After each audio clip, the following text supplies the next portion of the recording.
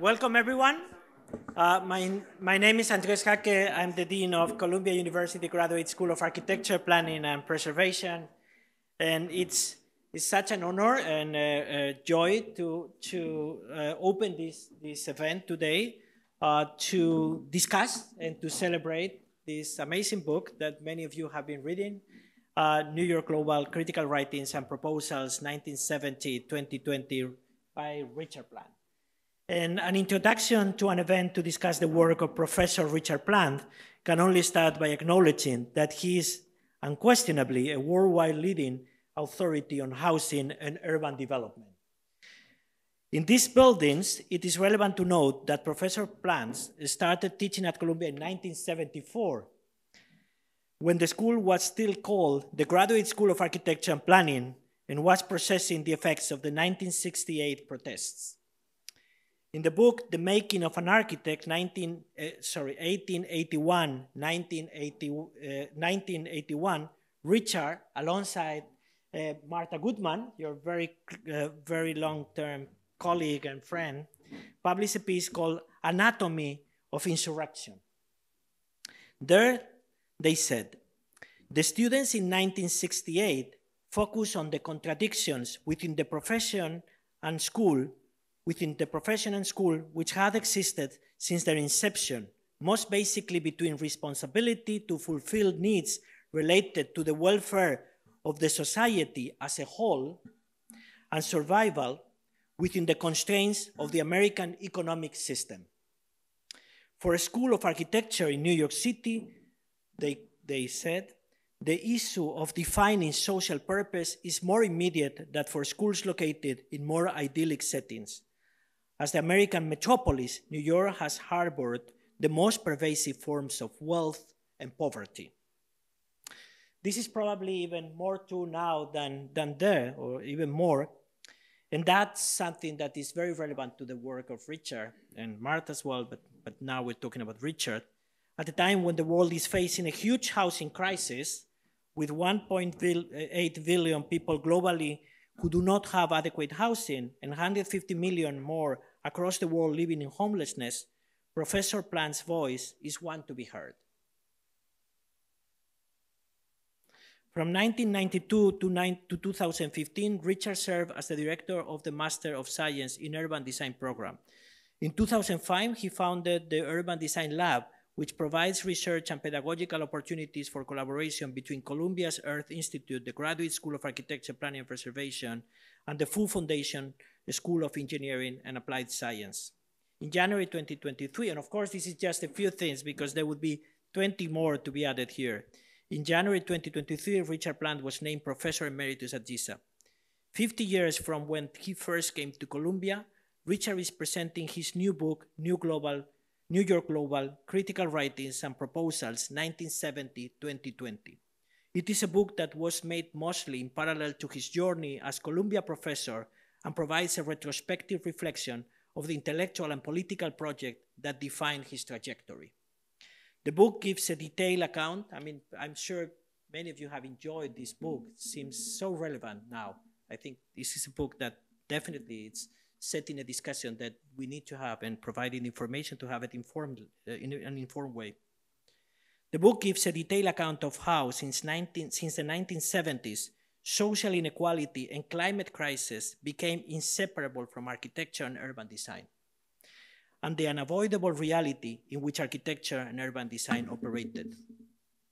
In Richard's case, this has also been a pedagogical project anchored in the specific knowledge of architecture and, archi and urban design.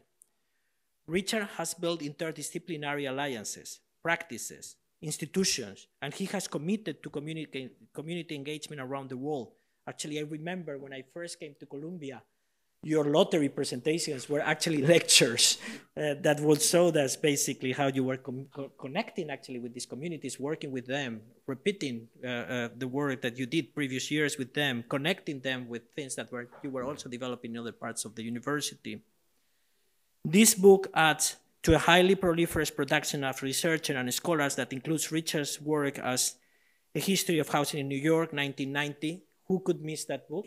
Uh, it's a book that is a reference in housing. It's, it helped probably all of us here to understand all the struggle to, to, to, to promote social justice through housing and to challenge it. We learn how racialization happened through housing, but also how many experiments were trying to were, were intended to challenge that.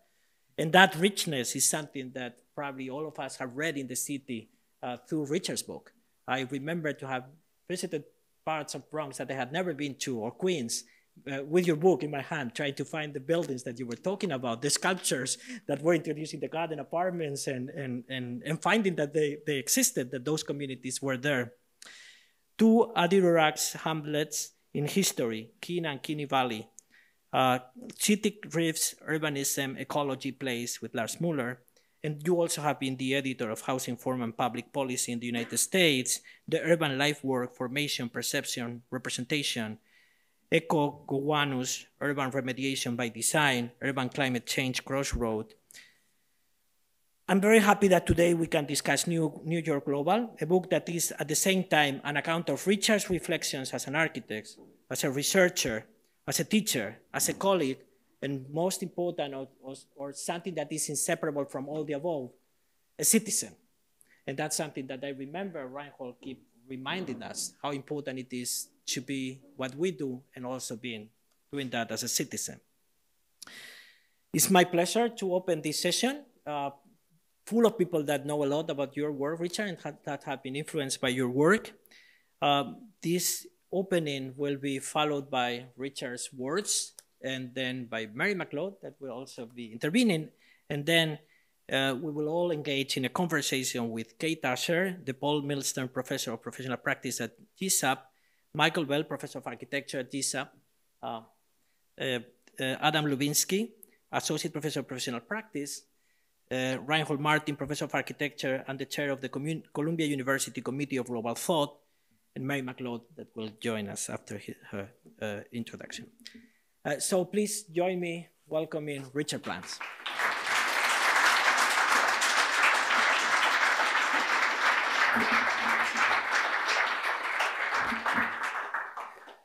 Okay, thank you, Andres. Andres has always been very interested and supportive of my work. Um, and I, I always thought, you know, I had this idea that architecture could be more than what it was when I studied in a polytechnic and, you know, and, and things were going to change, and they've certainly changed. Um, and I've always been interested in, in, in uh, Andre's take on that change, uh, so, so I appreciate a lot your, your words. Um, I thought we would like have a small group of, of faculty and sit around discuss this book kind of BS. And I, I, I mean, there's so many faces here that this is like Twilight Zone, actually. I, I don't know. Like, so I'm going to try my best to to uh, uh, to deal with this. Uh, I uh, I put together uh, quite a few slides as always, but I will go quickly, and then we can go back to things that are of particular interest. But I I thought. Um, well, I had to reread the book several times, and then I thought maybe some important issues were the mutations relative to the studios that were taught, um, the advocacy component. I never taught a studio without a client, I think. And I taught 68 studios, I believe. Maybe it was 78. Uh, 78 studios and 68 um, seminars. And uh, the question of history, because I've always been interested in history. And, uh, and then language, cognition, urban cognition, which has, of course, evolved tremendously since I first thought about it back in um, uh, 1967. So I'm going to go through a whole bunch of stuff relative to these questions, and then we'll, we will um, then we'll do whatever we're going to do. Here they are. Yeah, 78 and 69. Uh, there was a lot of, you know, it was all kind of fun. You know, some were more fun than others, especially for the students, I suppose, but you guys can fill me in on that. Um, there were some interesting ones. I think the joint architecture engineering students were very interesting. Uh, and I did 15 of those. I thought I, I didn't know I did that many. Uh, and toward the end, there were the architecture planning studios. Um, and it always seemed to me that this was the way to go, that we can't just talk to each other. Uh, even, even as professional, you know, even in professional education, especially now. Um, and then there were all these research seminars, all usually had clients. They had something to do with somebody somewhere with a problem. Um, and they usually, you know, they would find out and they'd come and ask, can you come here and do this or that? Um, and whenever we could, I would, I'm going. Um, then there were three, uh, I think, three important things to mention from the very beginning. Uh, Lefebvre, of course, uh, and his ideas about praxis and how urban, how urban practice was going to be a new discipline, and how uh, praxis itself was evolving. So whatever I thought about, I mean, this is back, you know, in the 60s. Um, he published published that book called Explosion. It was 1969, I think. Uh, then there's the question of participation. That is, who's the architect and who's the client, and how do these things, how should these things get mixed up? That, of course, was DeCarlo, Giancarlo DeCarlo, uh, who wrote the first very polemic uh, essay on the question that he called it participation. Um, and he asked for a mutation between architect and client. Uh, and then there was the history question, which, which, as I said, interested me a great deal, but not history as to. Uh, Tafuri said, not history as object, history as problematic somehow, right? And that was also uh, very important to me, and especially in the first like 20 years or so I was very involved with writing history of the environments that we, you know, studied. Um, the politics, yes, I have to say, and, and, the first essay is Vietnam. It's a kind of a it's a kind of crude essay, but I really wanted to put that in there. Uh, it was very passionate. It got me into a lot of trouble. Um, uh, after, right after Kent State, of course, I was at Penn State, so you know, 90 minutes away, the students were killed um, by our own military, and so of course the war came home, and this was extremely important, and I tried to connect this somehow to the larger picture, especially in our cities, of what was happening. Um, and then we wrote this statement um, to the university and to the government there, there there was a kind of meeting, and I gave that talk, uh, whatever it was, and there were strange men there in suits and ties taking pictures. And I never did do a FOIA request, but I'm sure there's something somewhere. and it got me into a lot of trouble at Penn State. So here I am, 50 years later at, uh, at Columbia. Mutations. These are just uh, quotes, whoops, from the from the book, and uh, this just has to do with the idea that, of course, the studio is an amazing research like uh, vehicle. I mean, you have you have these great minds. You have the possibility of thinking and saying things without, you know, without recourse.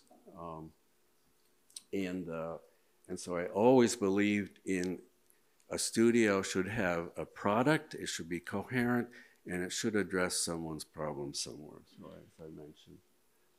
This starts in Penn State. Uh, there were other things at Penn State, but the Mantua primer had to do with, uh, the Mantua work had to do with this new uh, vision of a studio. We, um, we bought a, we had a house in Mantua. We lived there for a year. It was abandoned. We fixed it up. George, were you ever there? I think you, no, you didn't go there. Um, was, yeah, I'm not sure that house is there anymore. That was 432 North 38th Street, in case anybody's from Philly.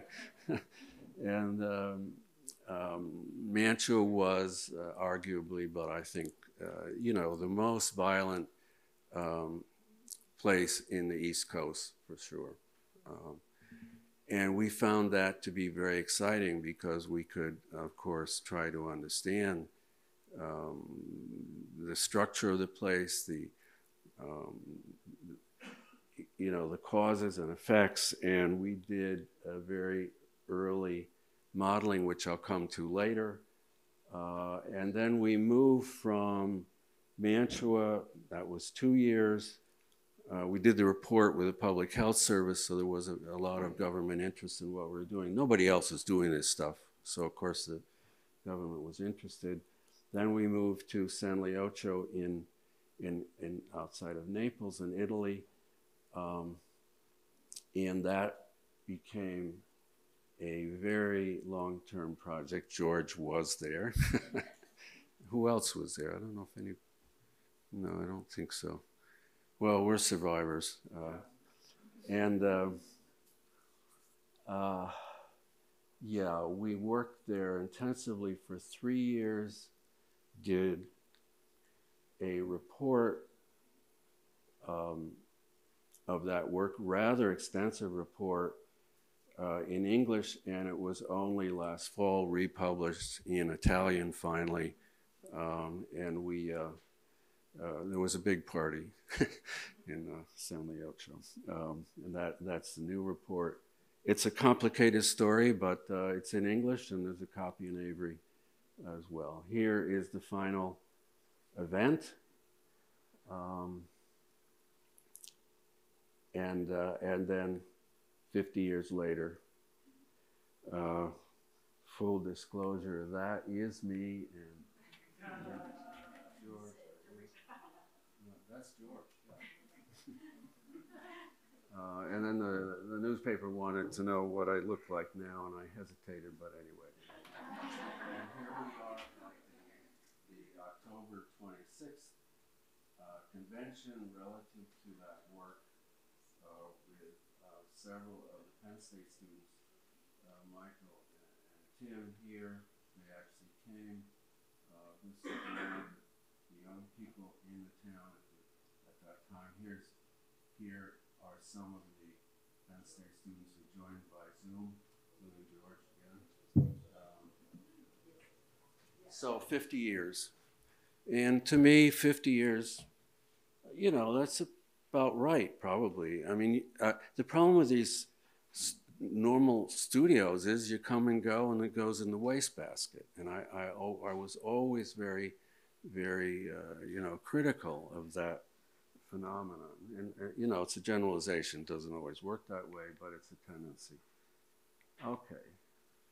And then Columbia GSAPP comes to San Leucio here. The following, so the following year, um,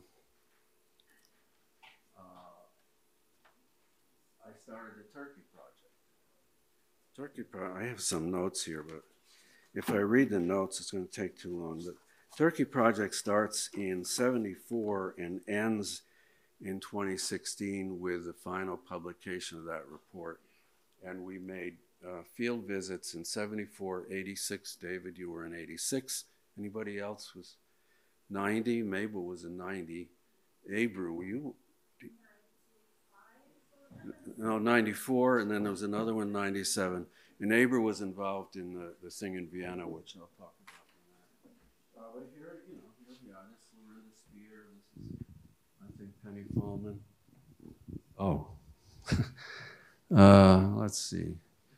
Uh, Al Medioli. This is uh, Mark. Mark. Uh, Mark. Um, whatever. Okay, so. it's coming, it's all coming back to me, but this takes a little time.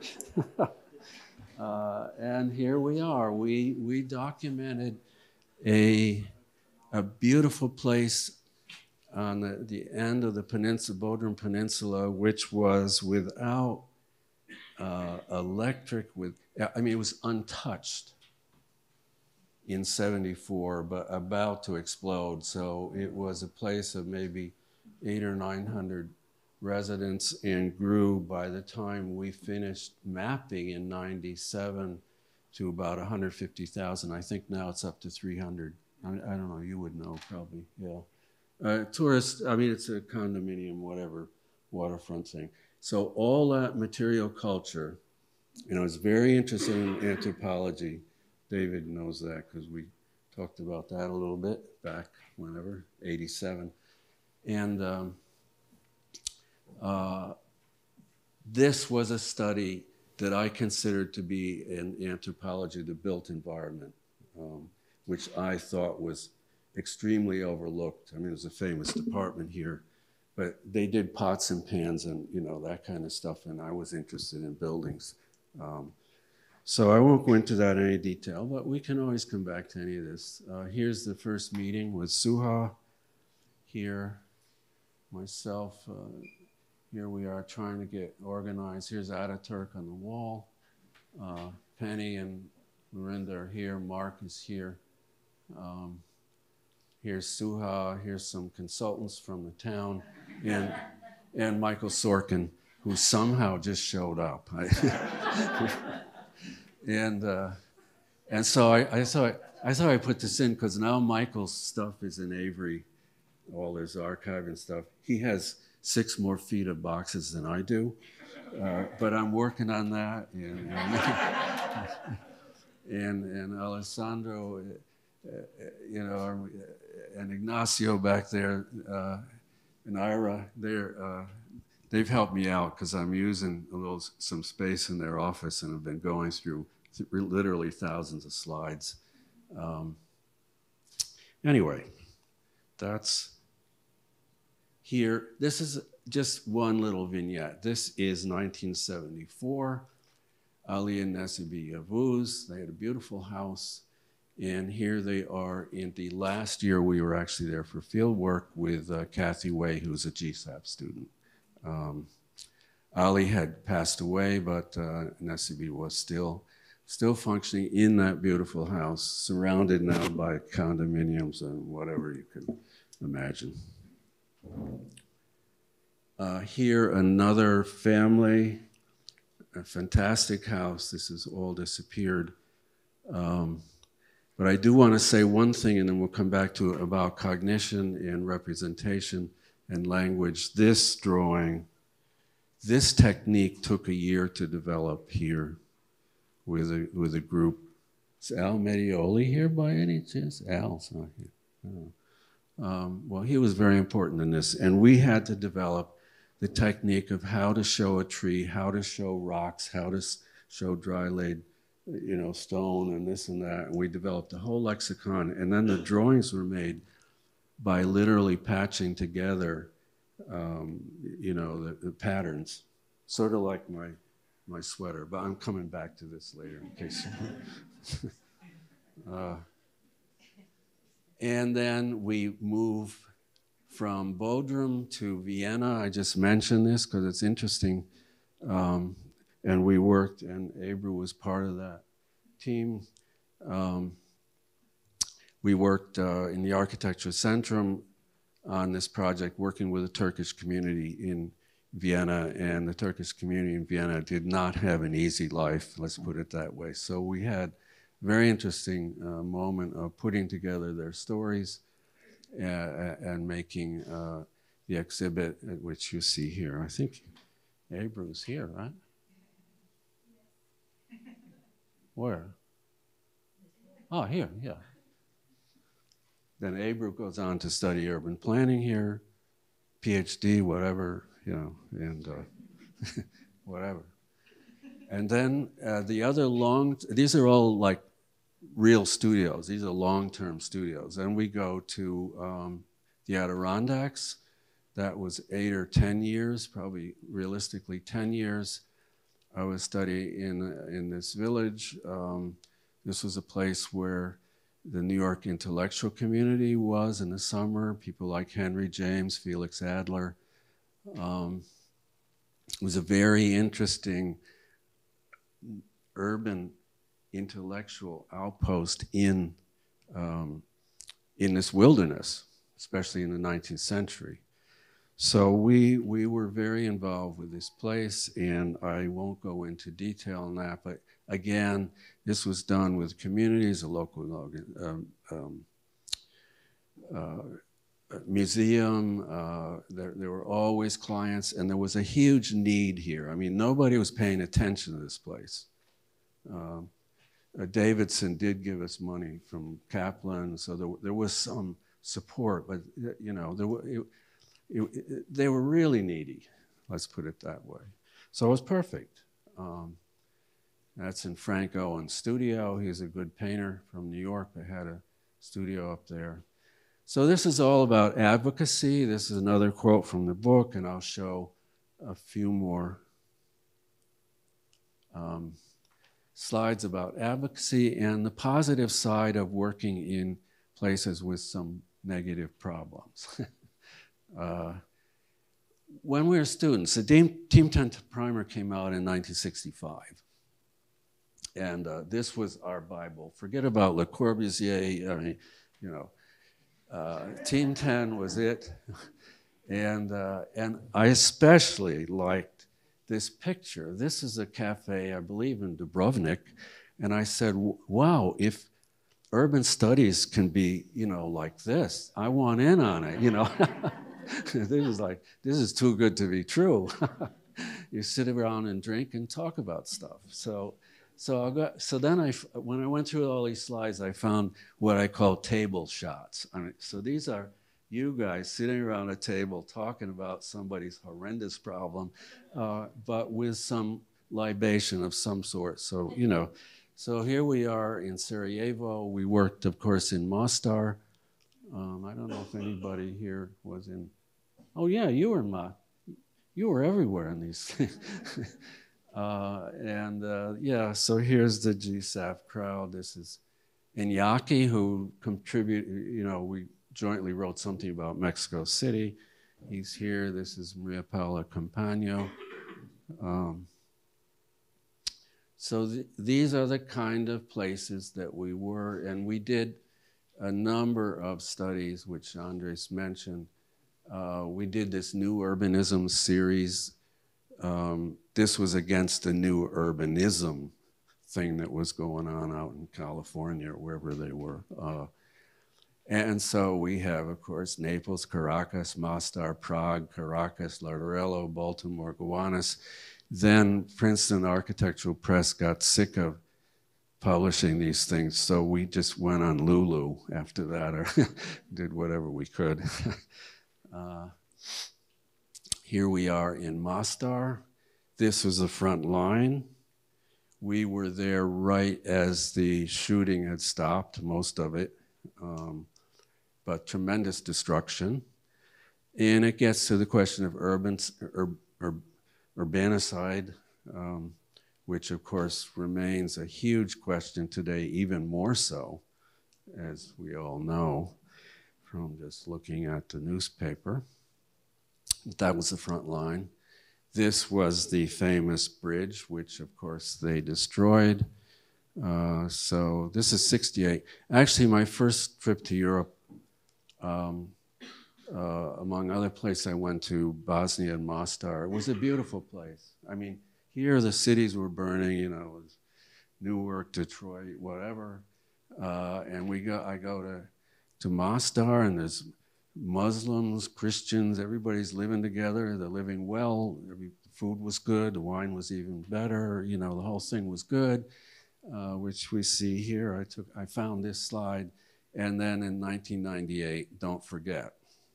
Uh, so that was a very important experience. They've since reconstructed the bridge, but it looks sort of like this, but it's new.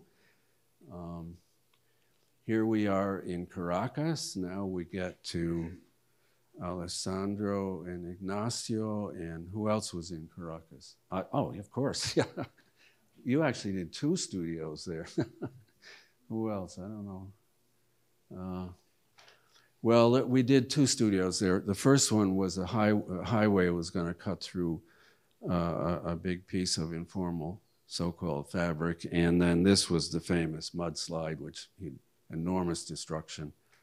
Um, and we were asked to come there. I think originally Chavez thought it was a great idea, and then he got a little bit crazy and thought the Americans were going to take over his government because there was a ship out out in the water and stuff like that. So uh, we did the studios, but uh, of course, uh, as is the case in our line of work, you know, politics change things. Um, but anyway, that was Caracas. Then we have Belgrade.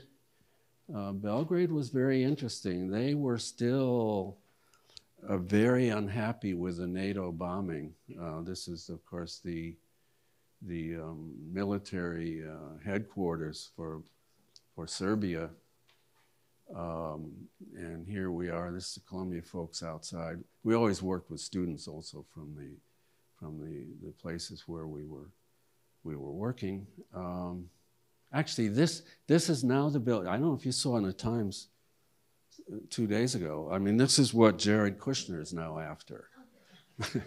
he wants to put a luxury hotel in there. Uh, and, and Trump has been after that for 20 years. Now, Trump, Trump's probably having money problems as, as we speak. But anyway, this is, uh, this, this, they got their eye on this site. Uh, and this is what, 2002. So 20 years later, we're, uh, it's still there. Um, here we are in Kharkiv, uh, which is a, an amazing town, two million people. Uh, this is where Sputnik was was developed. This had a huge technical capacity, 50 universities, and now, of course, in deep, deep trouble. Uh, but we were studying what could be a post-Soviet, uh, further post-Soviet development in the town. This is a great uh, Prom building, which God knows what it looks like now, but a tremendous constructivist uh, uh, development. Um, here we are finally in Kumasi in, in Ghana. Uh, ah, okay, so wait a minute. Now we're getting into Sagi. Where's, where is this? Where are we? This is Sagi and who else is here? Oh, you're, yeah, right. You're there. Who else? Austin? You weren't in this, right? Which one? Oh, you were in Kharkiv. Oh, all right. Huh. Well, you know, it gets a little mixed up because I. uh, uh, and we did in the urban design lab, then we did a hospital design for them uh, with some doctors, which is very interesting. I, I, won't show any of this stuff. This is Victor Body Lawson. I think that's Victor, right? Um, who taught in the UD program here for a number of years. Well, this is Victor, at least here. Uh, he Victor graduated in '84. Yeah. yeah. Um, uh, you graduated in '79, right? and Rick, 76 was it? yeah. So we got a good spread here, and you know, and you're you're. Uh, uh, Carol's Carol was extremely helpful as a student. I'll never forget that because there was, you know, there was a kind of a little bit of tempest here we were still kind of crawling out of the the situation, 68 and all of that. Um, and, and now she's been very active with the alumni, I think. Um, Rick's, Rick's uh, work with Baruch Houses is in the, in the book, in the, uh, one of the first, that was one of the first studios. We actually tried to add housing to, um, you know, to NYCHA. I mean, the same, it's the same discussion now, 60 years later, actually. Nobody figured this out yet. Um, oh, Justin, which studio were you? I forgot. You were in the studio too, right? Apart teaching. Ah, right. Yeah. Yeah. But Justin taught. You're still teaching, right? Here? Yeah, right. Um, the Bronx, the Mott Haven studio, that was um, also very intense. We worked with a community organization up there. Uh, the community was not quite as in bad shape as in, in Mantua, but almost. Uh, but we started experimenting with media and cognition. We're using Xerox machines. We're using the first computer studio at Columbia, which was 1989. Anybody in that studio? Carla was in it. Carla here? Rothstein? No. Um, and uh, communication is very important. I mean, if we couldn't do the publication, we got the exhibit out in, in the discussion. So that's at storefront, and here it is downstairs in Avery. Um,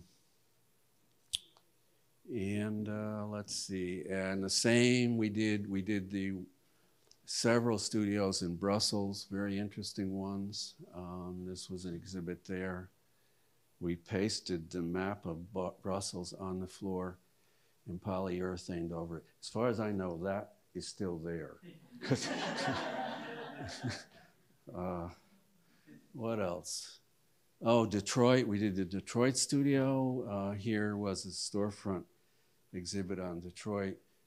Uh, this is when after they changed the facade, uh, and then and then there was a whole series of pop-ups in Detroit itself. Um, okay. Oh, oh, this one I put in, yeah, because the public space aspect of these studios was very important, especially for the exhibits. Here's one in Salzburg, uh, in the Summer Academy, in which we pasted. We had a thing about pasting you know, photocopies of it. Was a and here we pasted it on the bridge, which was a very, they wanted to destroy the bridge, which nobody wanted. And so we pasted the exhibit there and had a very enthusiastic uh, pasting um, uh, committee. This happens to be uh, Hubert's father, Hubert Klumpner. Anybody remember Hubert? Who's now at the ETH, I think. he, he came and helped us. Uh, then there's, of course, the Urban Design Lab, which starts in 20, 2005. And that sort of solved my dream of having an integration with science, with hard science and soft science, basically. And it was very interesting, although they weren't always very nice to us, but you know, uh, we, uh, we did what we wanted to. Um, and this was this were early projects and how you can't sorry you can't read this but how they integrated with different disciplines within the earth institute because the earth institute now is in the climate school and there's a whole different thing going on. Uh, and this was one of the first publications around climate which we did with Maria Paola Sutto, who's here, and I would have to say without Maria Paola, there would not have been an urban design lab. so uh, she had her, her, uh, she was into the whole thing. um, and here are some of the reports from the Urban Design Lab. We, we did a lot of work with Dominican Republic, which is still ongoing through Columbia World Projects. Um, and, and of course, um, uh, here Puerto Plata in Dominican Republic, here Haiti. I don't know, is Richard here? Gonzalez? No? Uh, well, he was very involved. He taught some in GSAPP, but also was doing a lot of work in the Urban Design Lab uh, at that time. Uh, and then we did a lot of water, what you could call water urbanism studies, and most of these have to do with the Hudson River or Upper Delaware. Um, this one was in Seoul. Um, I think these are still on a website. I guess it's still active. I don't know. Um, and let's see. History. Uh, history is a complicated question. Um, but I always had, uh, I had trouble reading Tafuri, but I always thought he had some interesting ideas that you could use, right? uh, so uh, he's saying, uh, anyway, this is my, my take on Tafuri. But anyway, we started doing the um, at that point, I know it was earlier, but we started to do the urban design seminar, and one of the things I insisted on doing was taking a piece of urban fabric, analyzing it, understanding the history, but with the intention of then understanding how that understanding could be used as a tool toward a new intervention. So many of you were victims of this process. uh, I always wondered why you you allowed yourselves to just do black and white. uh, but they seemed to do it, and um, and I, I insisted because I thought for the purpose of this study, color was noise. I didn't want noise. I wanted I wanted just the, the pattern, and uh, and my my my sweater testifies to the importance of this strategy, and my good friend Daria Dorosh, who, who's taught at FIT for I think as many years as I've been here, maybe, is a great artist. She has contributed a sweater using uh, fabric swatches from from from I don't know how many 20 years of doing fabrics and typologies. Um, okay, we're getting close. Uh, here's one of those reviews. Um, here is what Here's Varen, who taught in the program. Varen is, Varen is over here. Uh, EJ, who was always very good about coming and sitting through very long uh, meetings. Uh, this is Vanessa, this is Richard Gonzalez, I think. Uh, and of course, they put these, these very large drawings on the walls, which I insisted on.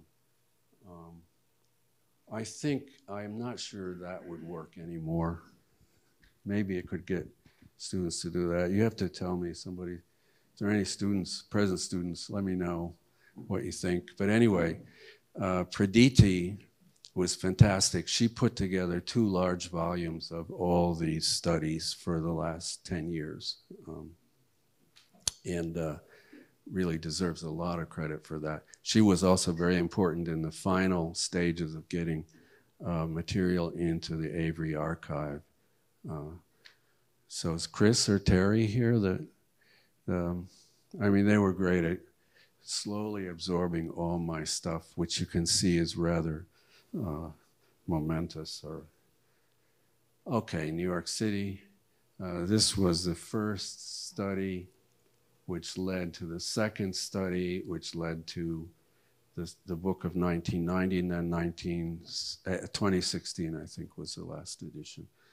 Uh, there was always a lot, in the beginning, a lot of interest in Europe in this work, more than here, I would say. Um, so the French published, uh, Mardaga published this one in, when was it, 83 or 4 or something like that. Um, uh, Manuel de Sola Morales, he tried to get it in Spanish, but it didn't work. It did get published in Japanese, which was weird, but you know, uh, uh, whatever. Let's see. And this study was important following up on, on the studio of, of uh, 76. In the precursor to the Urban Design Lab, I started this thing called Urban Design Research Group. And we had a contract with NYCHA to figure out how to reconfigure uh, public space, especially around safety issues, uh, public safety. And uh, that followed up on a project here by Oscar Newman, Defensible Space, which was in GSAPP, by the way, in the early 70s, I guess. I forget when that book was published. You know, it's a well-known book. I mean, it's still useful to read it. Um, so I put this in just as a question of continuity. And then finally, I think we will go to language. Uh, and I, uh, well, I went to a technical school.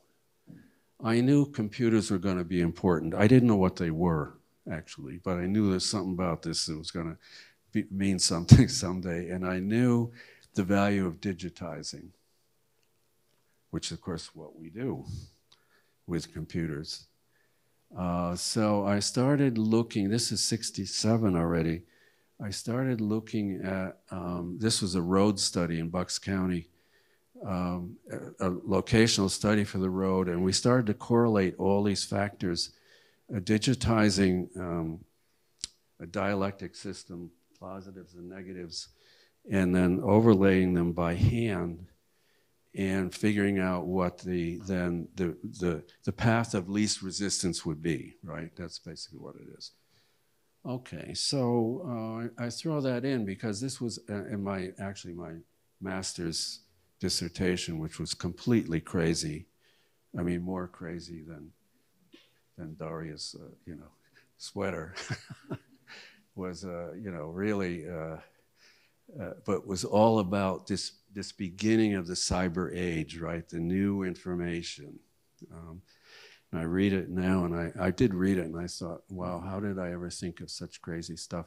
But anyway, this was Mantua. and Mantua, we, we digitized a huge number of social and physical environmental factors, modeled them into what you could call, what we would call today like in the Data Science Institute here, a agent-based model. That is, something happens and the other thing shifts, and then something happens there and it shifts around in order to make decisions. And our our our problem was how to um, uh, decide where the new infill housing would be when this is kind of the final map.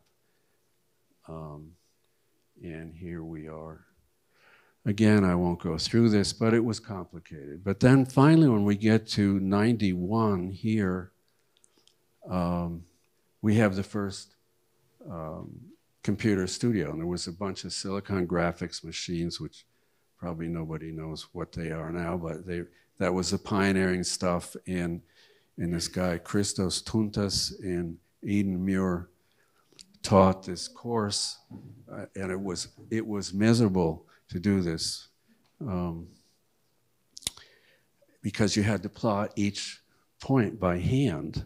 But that's what we were doing in 67 anyway, so why not? Somebody else should suffer in the same way.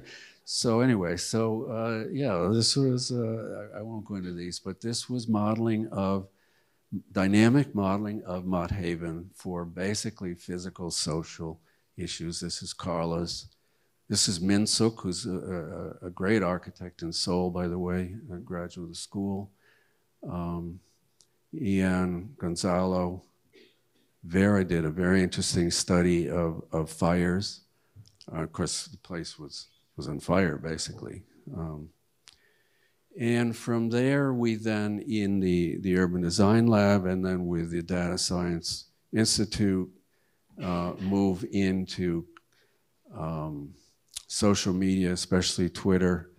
Uh, and this was revolutionary, of course. With Twitter, you could see in real time how space was being occupied, uh, and then you could attach sentiment to the tweets. Um, it's all pioneering stuff, but I'm sure DARPA and the Defense Department is much more advanced than anybody else at this point. Um, but these were Data Science Institute days when, when you you know, you put up your poster. And this was my um, experience with uh, science, uh, peer reviewed stuff, uh, which I hated, but I understand it's important. I mean, in science is so different. I mean, you do something and then there's a record and and the record is there, right? And you build on the record, you build on a record, build on a record. The problem with architecture is, you know, I don't want to say too much here, but you know, I mean, no architect really wants to go back and see how their building works.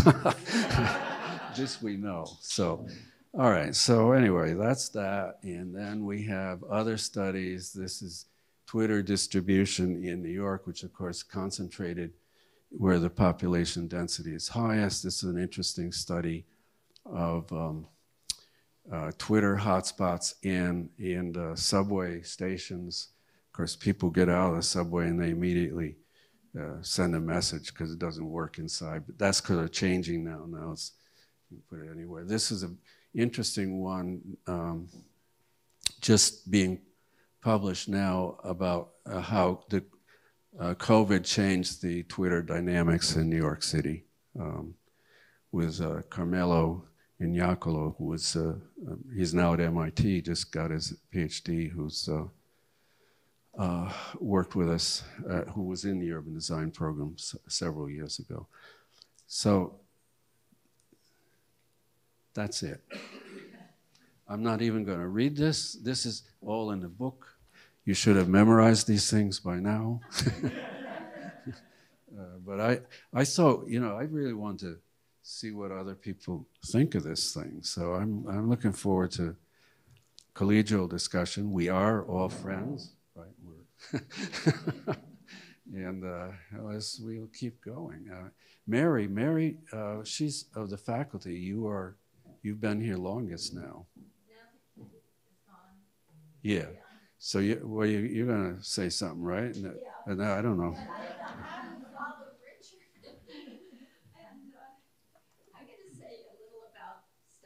Taylor, Taylor's here. Now I see people. I'm, it's coming back. Taylor worked with the uh, alternative suburbia thing, which I didn't show. But I, again, it was a Penn State study that then became very important in the studio we did in Genoa and he did a beautiful housing scheme with that. Every, you know, okay. I, this is like now all these faces, but you want this? Yeah, yes.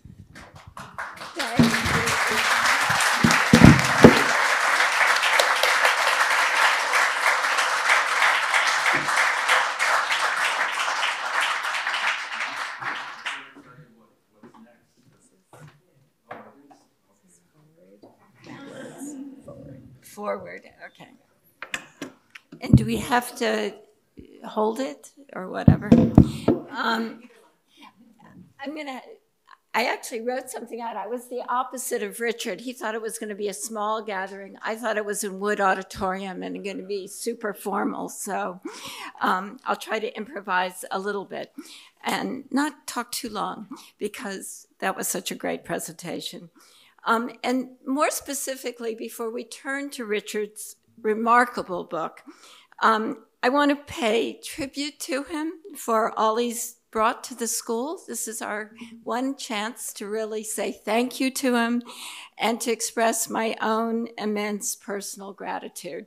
He was there when I began. He's the person who actually interviewed me when I got hired, and we, we taught together. I think Ken gave him a nudge about hiring me, but he put up with it.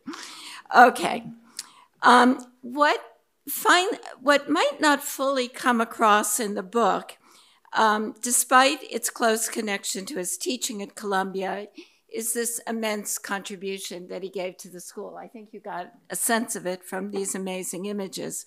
But I'm going to go back to 78. He was the chair of architecture then. We had a kind of chair and had already, with the support of the close colleagues, Kenneth Frampton and Dean Jim Polshek, who was the dean at the time, done much to transform the school, which, as you all know, had really gone through a lot in 68. I arrived the first year, this is fall 78, of the implementation of the third semester housing studio, in which Richard played a fundamental role, both implementing and directing it. And as you know, remains, even if it's transformed over the years, uh, something he commented on, um, such a fundamental part of the M.Arch curriculum. To give, I didn't do the slides. Forgetting it. That was supposed to show his 50 years, not just at Columbia, but globally, where he's had an impact, which we saw. what? this? It's hardly can see it in the light because they were very fine. Everybody used 3 pens in those days. Um, anyway, I arrived the first year of the housing studio. And just to give you a little background of how things change, it was then organized by typology. Uh, it was mews or row housing, perimeter block. That was Ken Frampton's favorite. Um, Radburn, which was, I taught one year. I think Eden Murr was in that studio, in fact. Um, and uh, sometimes experiments in mixed typologies, such as high rise, low rise configurations. At that time, we very much envisioned housing as social or public housing and saw it as we tried actually to be quite pragmatic. Uh, I think this got challenged uh, later on. Um, came up with fairly realistic, or we could say semi realistic solutions following more or less city codes. But of course, students rebelled, and that was fine. Um, then, as now, uh, students worked in teams. But what you might not know is the faculty worked in teams as well. Uh, there were a lot of really strong debates, sometimes passionate, and in the case of students, divorces. Uh, but I don't think any of us uh, actually split ways. And I taught with Richard one year when Lauretta Vinciarelli used to normally teach what we called carpet or patio housing. Uh, she knew well the INA-Casa, the Libera projects from Rome, but she was, I don't know where, maybe in Marfa, Texas then, and Richard and I took it up. It led to fairly rigid schemes, as you can look. It was a challenge uh, to make it work. Besides Richard, among those teaching housing in those years were Kenneth Frampton, I mentioned, Max Bond, Michael Mostoller, who I think was a former colleague of Richard's for Rensselaer.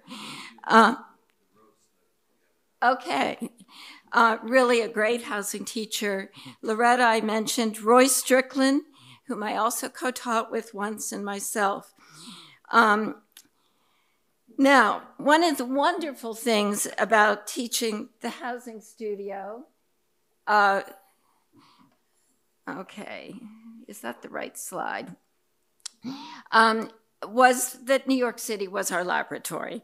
And Richard, he showed those amazing images all over the world. But what I really experienced working with him in those years was just learning about New York. I discovered neighborhoods in Queens I'd never seen or heard of, um, but also learned so much about the remarkable housing stock in New York. Um, they're the books you've already seen. He skipped his first edition. Um, and this was some of the amazing projects we looked at. Um, they were Sunnyside Gardens, Forest. Why is this? Oops. There you can see it uh, with its landscape, uh, built, Forest Hills, Jackson Heights, which was a special favorite of Richard's and if you, that's an old photo. I don't think they're awnings anymore. Um, but uh, I'm sure they're not. I was just there. Great food, by the way.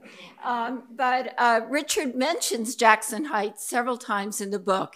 Uh, it was, it's an amazing community uh, in terms of housing options. Um, or even the Grand Concourse for elevator buildings. Um, well, we explored a variety of scales in housing. It was clear that Richard like many others uh, in the faculty, had this commitment to low rise, high density housing as an alternative. This is the early 80s to both the towers in the park, public housing of the Moses era, and the low density Nehemiah projects that were being built then in the destroyed or devastated areas of the Bronx. Why is this so stubborn? Um, and some of the studio projects actually addressed which um, this sort of alternative uh, to um, densities that I just mentioned. Uh, two other uh, very related concerns to this that Richard would continue to pursue in his other housing, other studios, not just housing, urban design, um, were first the repair or renovation of existing high-rise public housing projects of the 50s and 60s. And this included adding low rise housing and commercial structures along the street front and rethinking, this was critical to him, the ground plane as not exclusively open public space. And the second was what he called the urbanization of suburbia, again, working for this intermediate density. Both of these efforts are again discussed in trenchant essays. It's a word Marta Gutman used to describe the book, and I think it's really pointed. Um, especially, for instance, in the essay Towers in the Park, explaining the work of a 1976 studio. For me, there's almost always a pragmatic, activist dimension to Richard's studio teaching. Um, and you might note the phrase in this quote enlightened and pragmatic approach. Um, there was always this real dimension. I think he got frustrated with someone like me who got a little too in the theory world at times, even though he did read Tafuri. um, anyway, uh, the goal was really to address the extensive urban blight uh, brought on, and this was so visible in the late 70s and 80s still, in part by urban renewal and suburban flight. Another aspect which he didn't talk about was Richard's leadership. Low key, full of ironic, self effacing humor. You got a dose of it today. But also, what you might not have noticed, very strong willed. Um, he had a great commitment to diversity, something he shared with Jim Polshek in those early years, despite their sometimes heated differences. And it would not be until many years later that we had as many Black and women faculty, not to mention minority students, as we had during Richard's and Max Bond, who followed him to chairmanship. Among the women, some full time, some adjunct, who were on the architecture faculty, and there were others in planning, uh, were Ada Karmi, Susana Torre, Amy Anderson, Barbara Littenberg, Gwendolyn Wright, and I think only Berkeley could talk about as many. When I went to Harvard one year in the 80s, there was only one other woman faculty member. Columbia was really exceptional at that point. I, I think it already came through as something I just want to emphasize was a strong commitment to social justice and social equality. It's not an accident. Um, and Andres already pointed to this, uh, that he wrote with Marta Gutman on the events of 68. And one of the essays in the book is actually revisiting his thoughts about that a conference organized by Joan Ockman at the Buell Center in 1998, where it's a really good essay too, reflecting on what changed, what didn't work, etc. Um, but there was, despite, um, you'll find some sort of semi-snide remarks about theory at times in the book. Um, but Richard was immersed in it he may not want to admit to it, but we had this magazine called Précis, which he had a very large role in getting to happen. And I don't know if you can see it because it's not the sharpest of slides, bad scanning on my part. Um, but he has an essay there on style that he wrote with the guy, Ken Kaplan, and a kind of clue to the kind of real intense debate that was going on. So I would see this period as strangely socially committed, but also very much involved with architecture, which might be the big shift uh, with 68. This extended, of course, to the global scene. You don't need me to repeat what he did so well. Um, so I will ignore Turkey for the moment. I, I might mention there he is at Cuba um, with a historic preservation studio. Um, and I think he got Bob Stern upset from what he told me because Bob Stern, I think, was the director of preservation uh, in organizing this trip uh, to Cuba. what? Yeah, go ahead.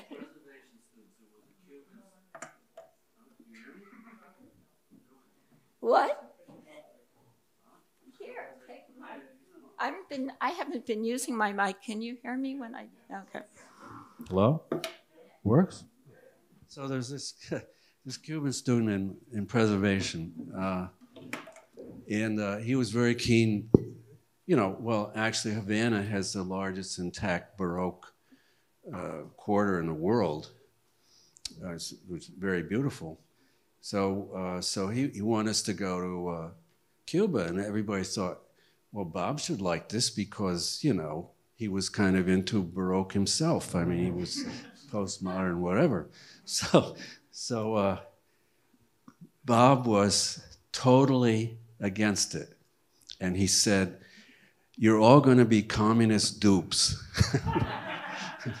etc., etc. And then he told them, and, and they insisted, of course. Then he told, I mean, this Cuban guy was tough. So then they t- he told him, Well, if you're going to go to Cuba, I'm not allowing any preservation faculty to go with you.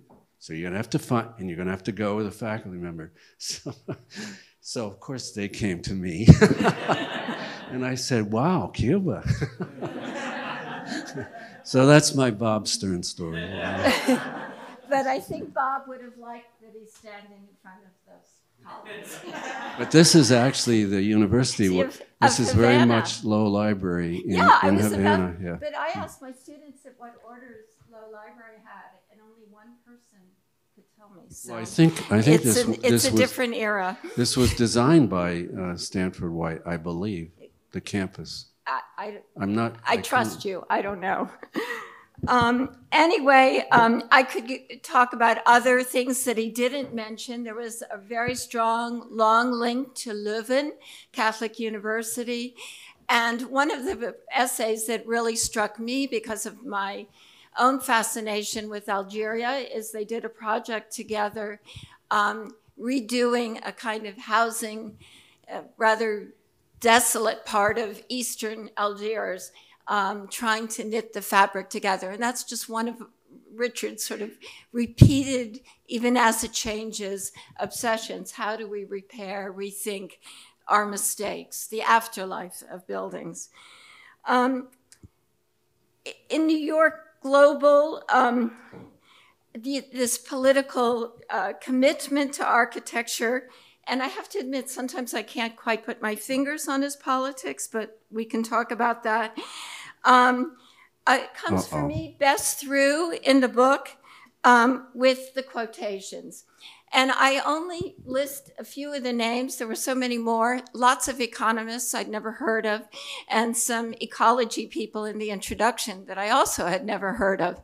But uh, you get an idea of the amazing range, a kind of erudition that he wears so lightly and so unpretentiously, uh, but it's really there uh, in the book.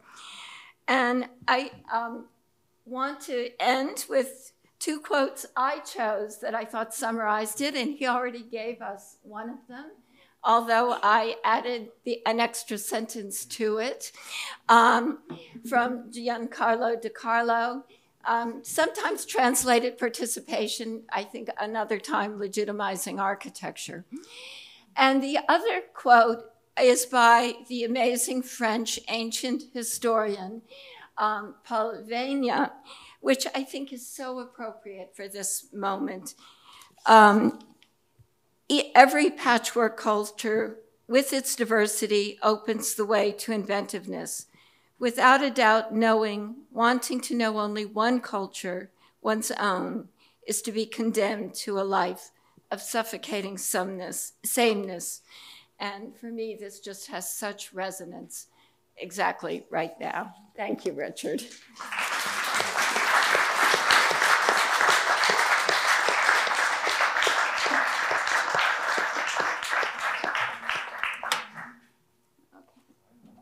Now what? Wait. I'm going to keep quiet since I'm talking. Though I have one quote that I'm so curious about from your Vietnam essay. Hmm? Did you add the words neoliberal Yeah, I know, I had that question. It's so un-1970. I can't. Yeah. Yeah. No, that was there. Yeah. You sure your editor didn't put those in? I, I, nobody. All right, all right, all right. They don't know what we're talking I'm just teasing you, Richard. Huh? Richard, you gotta sit in the middle. Yeah, where do you sit? You sit in the middle. Okay. Were you struck by that too? So, Well, Richard, I'll maybe have you to want look, to right? I'll have to go back and look at that problem. but uh, there was that that was pieced together from notes. Okay. handwritten notes, and um, that was highly influenced by we should tell Lefebvre. The audience what we're Oh, talking about. Um, the, the first essay, the one that Richard referred to called Vietnam, and I have to admit, I lived through this. He was a little older than me, but um, you know, it was my first exposure to the computer, um, put punching in draft resistance cards. Uh, but anyway, he uses the word in the essay that puzzled me post Marxist and neoliberal. And I don't think I heard those terms post Marxist, that certainly was- not before about 89. No, no, no, that's from Lefebvre. You postdated the comment. Neoliberal, no. I And for- here it is. uh, We are, we are, this is yeah, I did it 19, too. we are in a neoliberal post-Marxian moment. Yeah. I, I have a feeling your notes got edited. Uh, maybe we can.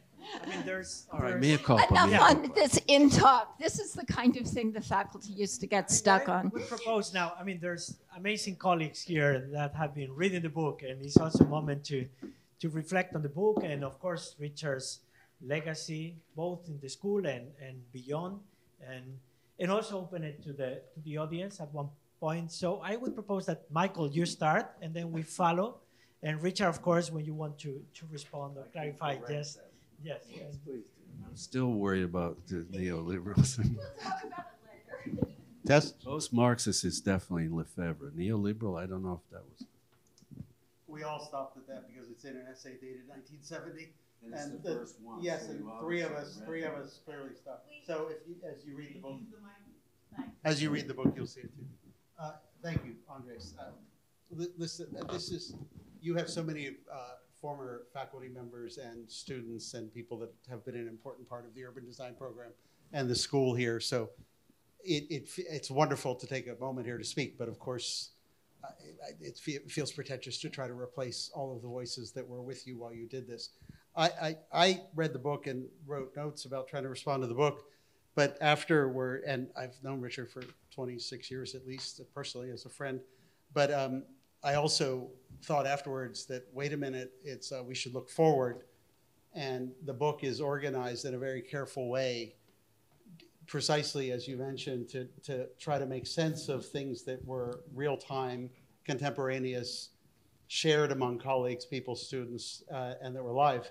And part of the reason I think, obviously, that you put this together was to try to not lose studios and all this work. You know, you were a bit vulgar about it to the trash can, but clearly it's not in the trash can, none of it anyway. But um, so then I thought, okay, a little bit personal. I did not intend to end up at Columbia myself. It, it turned out I was close with people here and it made sense. And I did a book called Slow Space that in, in 1998 that involved a huge amount of the faculty.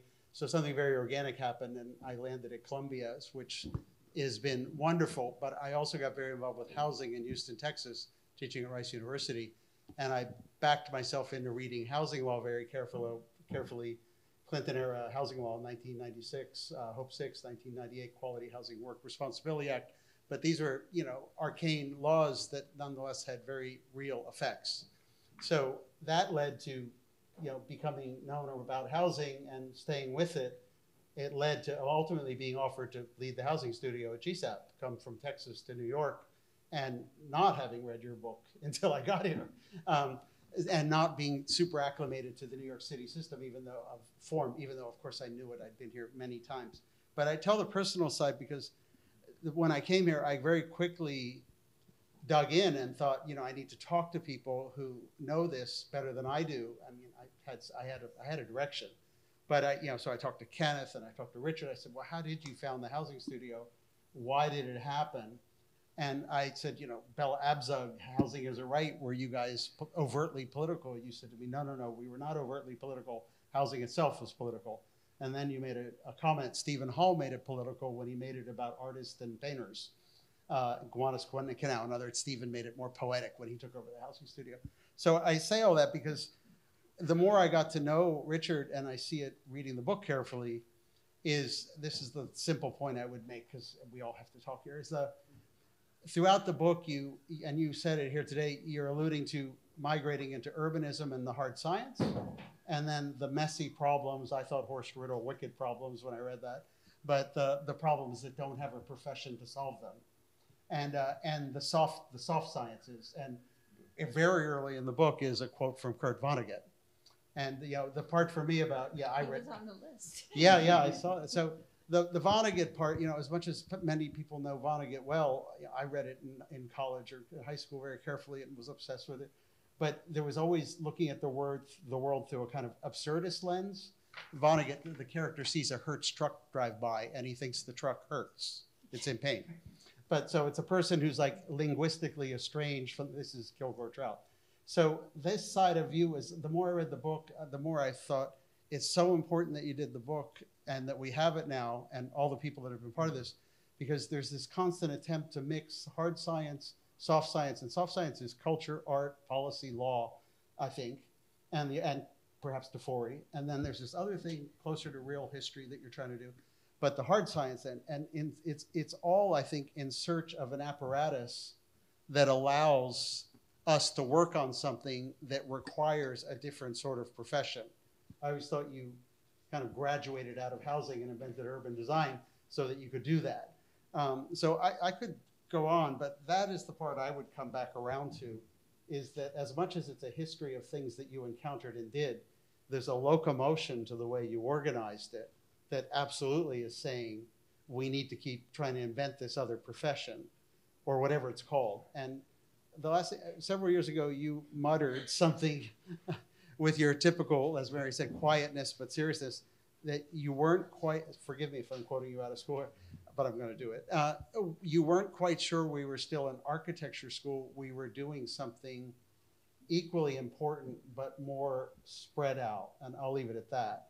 But I really think that what you are, this book is so valuable because you're trying to describe this kind of character, which was you, that is trying to map out a way to address all of this. And you're not willing to do it through traditional practice, nor, as you say explicitly in the book, you weren't too interested in being part of the, the then new avant garde. Uh, so I'll leave it at that. There's much more, but th- th- it's a pleasure to read this book, I must say. It's, it's really remarkable. And for those of us that teach and invest a lot in teaching, it's an incredible template for how to record and keep what happens with all the people. Yeah. Thank you. I mean, I, picking the essays, I was helped a lot by Audrey, is she here, Dandino? Who was uh, then a student. And, um, and it was very interesting to me, because there was a lot of stuff, right? Um, it was very interesting to me to uh, try to have a perspective of, an, of a current student looking at this stuff and uh, she gave some very good advice. And there was a question whether to keep Vietnam in there or not, and things like that. Um, so, but my my, I think there's also the question of continuity, and um, my thought was everybody should make the same book. I mean, you know, it's important. I mean, scientists do it. I mean, they publish these arcane articles, and you know, they just keep reading them, and it's like, you know, whatever. And uh, and and it's uh, it's very interesting to see the people here because most of you were part of this continuity somehow. Um, you know, even faculty. Ira's back there. I mean, Ira was in Mostar as a, a student at Temple, right? Yeah. It, and then came, then she went to Harvard, but then she taught here in Ecuador in urban design. Um, I'm just thinking, all, I mean, there are all these connections to be made, and they're very positive, but they should be maintained. I mean, the problem is, lo- I think loss of information is a problem in our discipline, you know, that we, um, but anyway. No, but I, no, you guys should say whatever.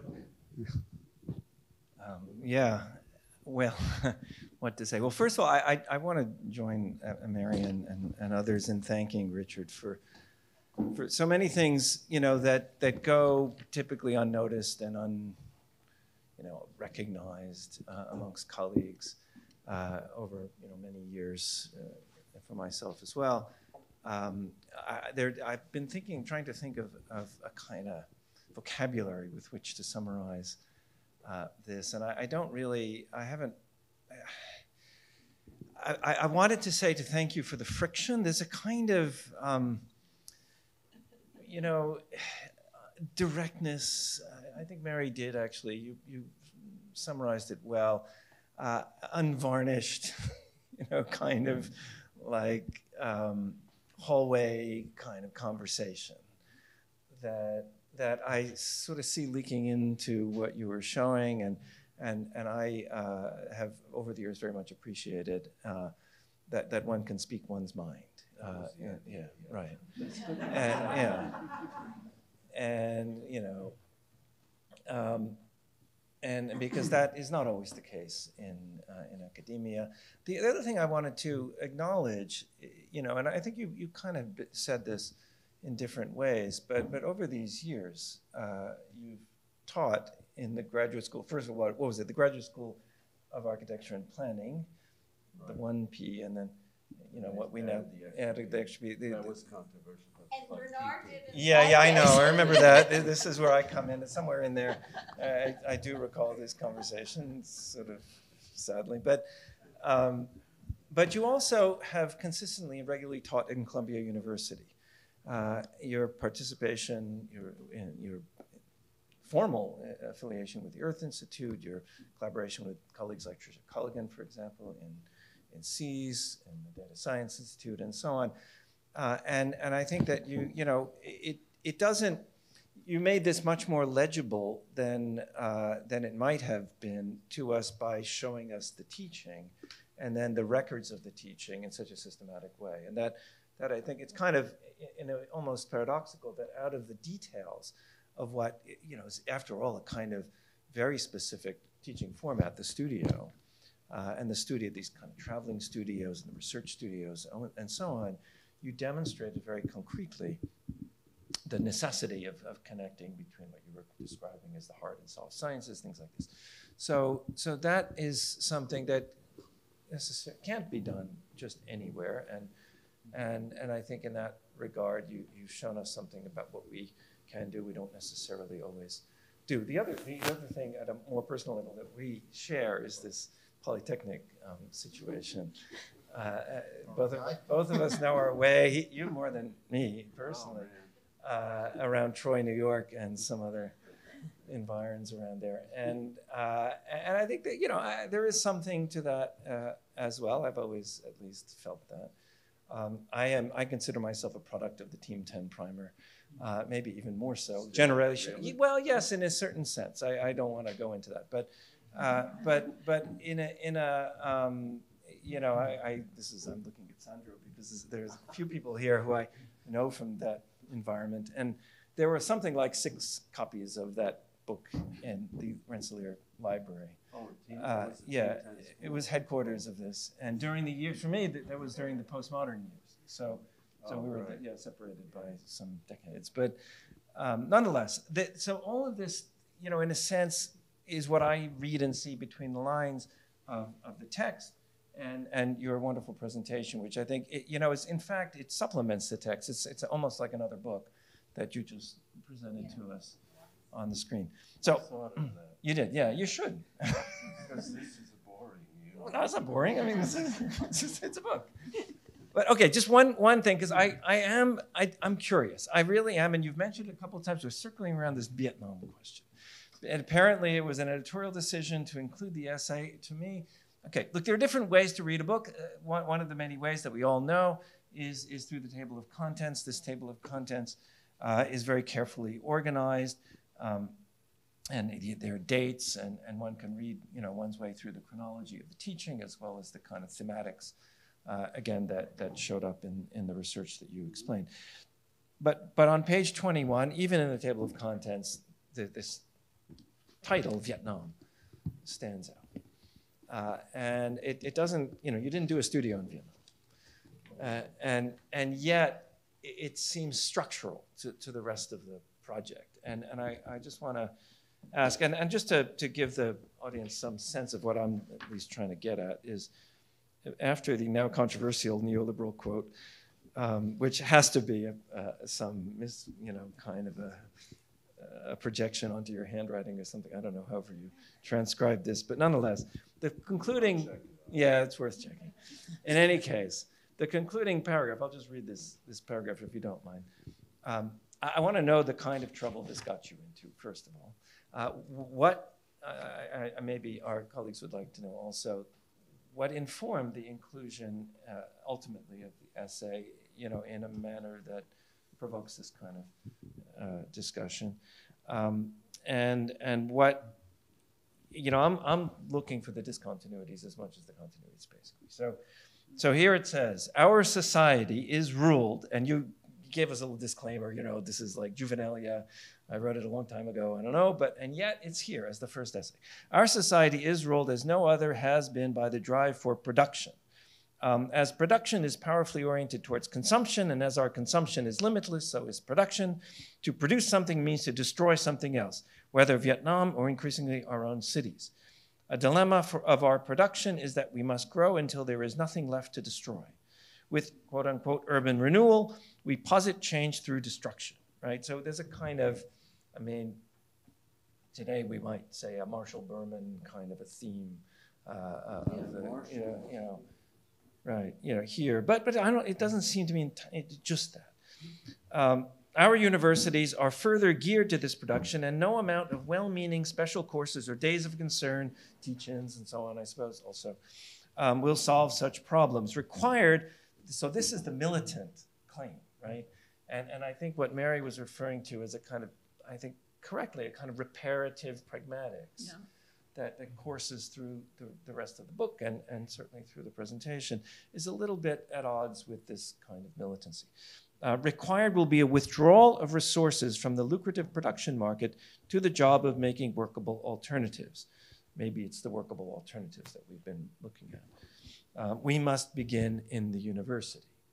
Uh, and so there's, you know, on the one hand, there's the there's there's this sense of of the sites of learning as uh, as themselves, in a sense, the, the, the, barricades, and, and literally and figuratively. And of course, you began with the first slide was Kent State.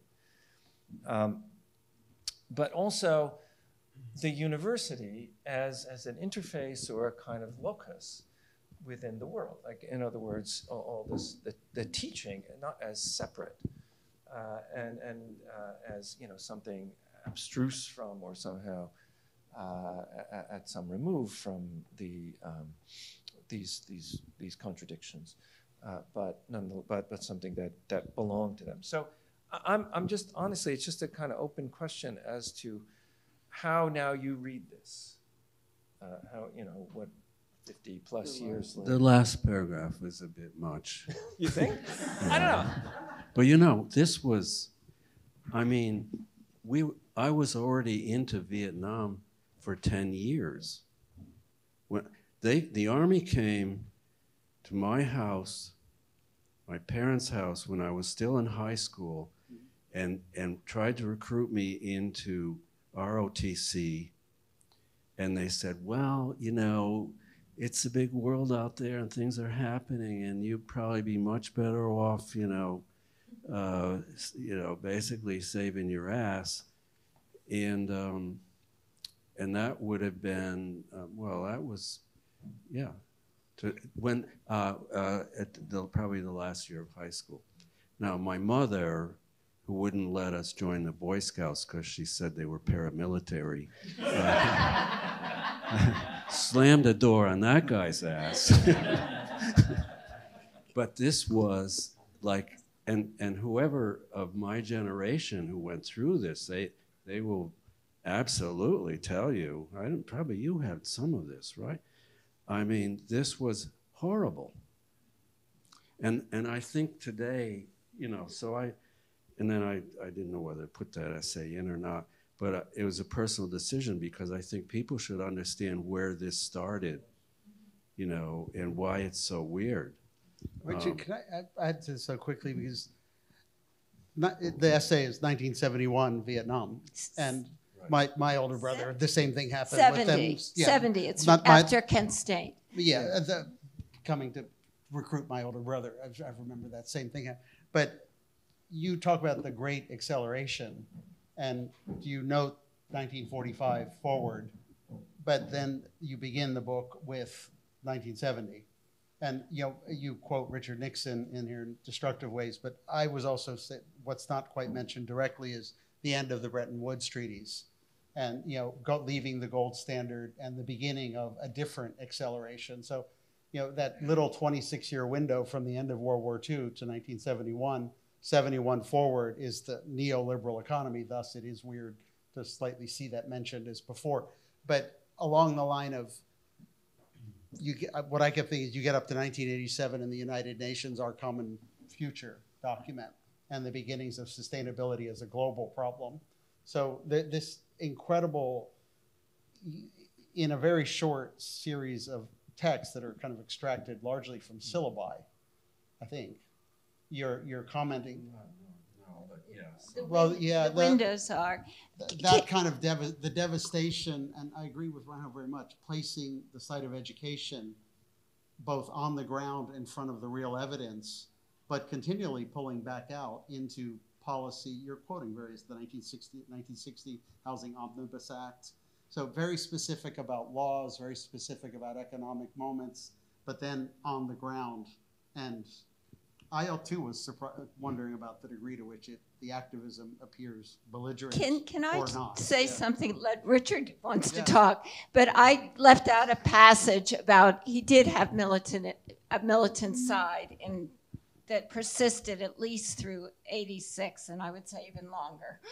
Um, we, when I first came, there was a Brasini exhibition, and we were all furious that this is somebody celebrated in complexity and contradiction, a fascist architect, and we were all upset that his fascism wasn't acknowledged. So we all wrote, almost everybody on the faculty signed a letter to the New York Times. That's one example. That's one- in the archive. yeah. Okay, another one that he actually mentions in the book, and Richard was always a major voice in these things, but we all were pretty vocal, was the demonstration we had, he calls it the end of an era, in 86 in front of the South African embassy, a consulate, excuse me. Everybody except one faculty member that was full time, I think, was there. Um, and we all got arrested, fortunately not put in prison except Max Bond, who'd already been arrested twice and had to leave before they clamped the things on us.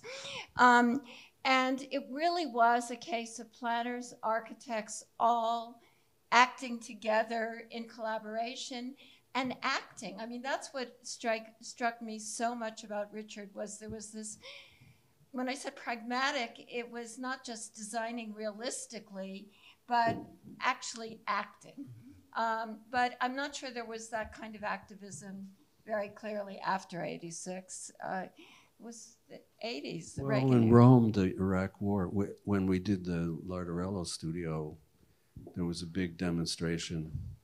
That was good. We, we were all there, the, the So Columbia group he, we had. he kept that militant streak. That was the only point I really wanted to make. But let me a ta- while. say the production thing, that's Lefebvre. And yeah, And that's, that was,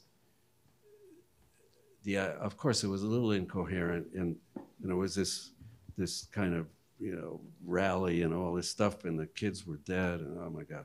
So, but, but that was the idea that we, we had gone over the top with consumption and it was being driven by this crazy production that had to, there was no end, right? There was, there was no way to stop it. And, and that's what that was about, which isn't very clear here, but I didn't change the, the text. And Lefebvre was a big influence right at that moment because his book Explosion came out just, you know, a few months before and, you know, everybody was reading Explosion and, and all of that. So that, that, that explains that.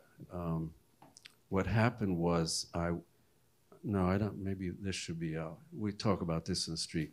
But, but the, what happened after that thing and all these guys in the suits with the cameras um, didn't, uh, that didn't go down well with the university.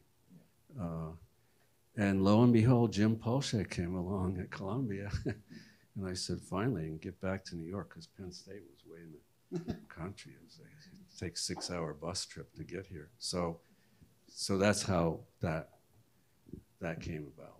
Yeah. Plus, I had a very low lottery number. I think it was four, and that was extremely disturbing. anyway, Um, so I'm going to just jump in, just so we um, uh, don't don't run out of time. Um, I have to admit that the reason that I don't have Richard's book on my lap is because I had it on an Amtrak train yesterday, and I found it absolutely gripping, and I dog-eared pages and I underlined a lot of things, which I felt terrible about on the one hand, but I got so excited that I wanted to talk about all these things. And it's probably too late to talk about all those serious things that I wanted to talk about. And since we're on a sort of personal note, um, I, I just wanted to um, maybe ask Richard to talk about before Vietnam, because one of the things I didn't know um, about Richard until I asked him to do a piece about um, Lincoln Square and Lincoln Center for the history book um, that we did via the Durst collection some years ago here at Columbia was Richard as a student. And everybody submitted these very, um, you know, kind of serious pieces about housing and the grid and, you know, very academic and um, terrific.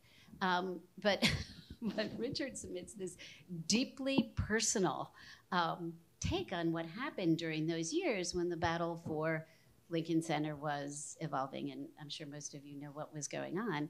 And the reason I kind of wanted to fill in that piece of Richard is because, I mean, you're so many things. You are like most other faculty here, an intellectual, but I think what makes you so interesting is is your humility and your humor and your ability to kind of just be yourself through this all. And so when I read this piece about the very young Richard, I was so fascinated by it because it told me so much about what would come through in all the rest of those um, comments that are in the books and those situations. And I thought maybe you just wanted to share a little bit about that part of your life with yeah, you can might not know. you can read the thing in the book. It's pretty good, I thought. You know, it's like, but we hated Lincoln Center, hated it, and and I was a student, and I had some friends, and we worked in an office in the summers. That's when I decided I didn't want to work in an office. You know, when I graduated, I had, you know, I figured let's do, try something else here. Uh, but but anyway, he uh, one of my friends was at Yale and had they were there were a bunch of students at Yale art um, music students Actually, I studied violin for nine years, and my, my mother was quite, you know, not well known or anything, but quite accomplished pianist and vocalist, and, music was very important. And um, uh, when they, all right, Penn Station was one thing, but when they ripped down uh, the old Metropolitan Opera, that was too much. And we went, I remember, well, I wrote about it. We went the, the week before um, uh, they, they ripped it down, one of the last performances, I remember paying like 50 cents. You could, I was way up in the top. You couldn't see anything, but the, the acoustics were great, much better than now. Um, and listen to that. I forget what it was. I remembered the opera and the thing anyway, what's his name from Brooklyn? Um, anyway, doesn't matter. Uh, that was quite a while ago, and and uh, the criminal. It seemed the criminality of that. You know, there was nothing wrong with the auditorium. It could have had the backstage rebuilt because new, you know, it was built in 1890s, I think. Um, it was pure politics. It was Moses. It was um, the idea that if they, they needed the opera in Lincoln Center for legitimacy, right? But the problem was if there was this other house down Broadway, it was at 39th Street, um, people would go down there and there would be another opera company. so they knew that very well, and, that, and that's how that thing came down. It was completely bizarre and, and actually criminal. Um, so that uh, that got me started on a whole bunch of things. Um, into the 80s, I would say. And, and I never separated out postmodernism and all of that from that kind of trajectory, right? And I, I would have to think more about that. Um, I just want to make one other comment, and then I'll hand it over to Adam. Sorry, I carried No, no, no, no, it's okay. I, I, op- I opened up um, that, that opportunity you slid in.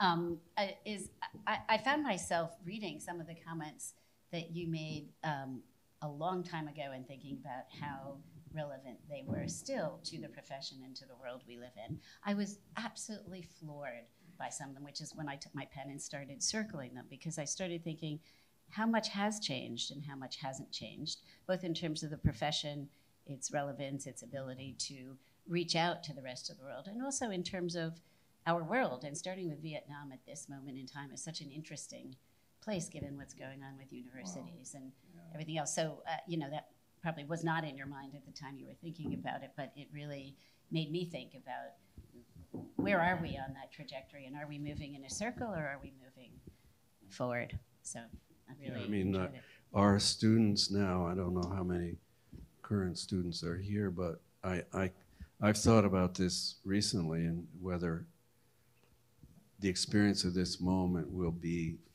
at least for some students as they were for some of us, so, so profound and, um, you know, uh, so that's, yeah, it's a good question. I, I don't have an answer for it except um, we were at a moment. We were at a moment in 68. Oh, wow. I mean, the cities were burning. You have to remember that, too. I mean, there, things were happening. So, and we had to absorb it all as like 20 young 20 somethings, um, which was tough. Um, but Adam, you're a victim of two Caracas studios. What do you? I was ready for a third. Um, that was amazing. I think I may be your only student up here. Um, and we saw a lot of maps. Actually, it would be one map that I would love to see um, is a kind of map that shows the spatial distribution of your students over time. It would be amazing. But also to see a drawing of that that um, creates the kind of intellectual connections between them. One of the things I loved about your book was um, seeing the notes that had the names of the students in the studio and, Yeah, that was great. and how many of them, the ones that at least stuck around New York, that I was able to place, you know, actually beyond my peers or people older than me. There was one studio that you had which um, three very different people, all uh, imagining them as 20 year olds in your studio. Um, you probably know them, Meta Brunzema and um, Henry Urbach and, and uh, Joel Towers, all in one studio. And I was thinking, God, what a, what a crazy bunch that must have been. Um, but to, Okay, okay. Um, but to imagine um, what that map would look like, to me, it made me think about the nature of connection and adjacency, and actually a theme in your book, which is propinquity, and you know what um, what creates connection and adjacency and propinquity. And I think where you land is quite interesting, and it, I'm, in some ways, I'm starting with the end of the book which speaks to Leuven, and where you talk about that as such an interesting example of a place that kind of bypassed modernism and that they, you know, destroyed. He tells this story. You'll have to read it. Um, uh, Leuven in Belgium destroyed in the First World War, uh, and they rebuilt the medieval core. And it's a really beautiful moment in the book where you talk about that actually, you know, back 100 years ago, there was this example of what cities uh, want today and need today, and how it was uh, something that completely bypassed what we saw throughout modernism, which to me, one of the kind of um, most nerve wracking essays by a planner was, was called Community Without Propinquity, Melvin Webber. And he, There's a lot to hate there.